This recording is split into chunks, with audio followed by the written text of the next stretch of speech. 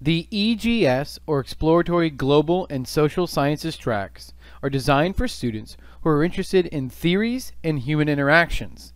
This track is also designed for students who want a career based on helping others or who want to tackle modern social justice issues.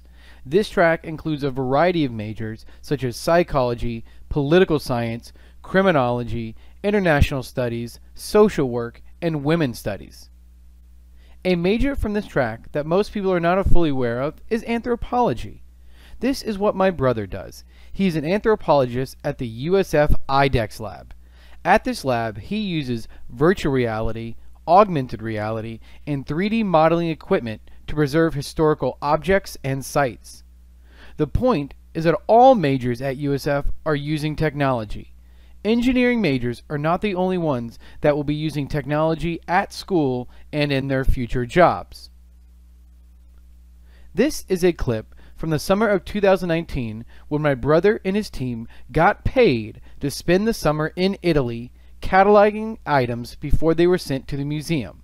This student is using a handheld LiDAR 3D modeler.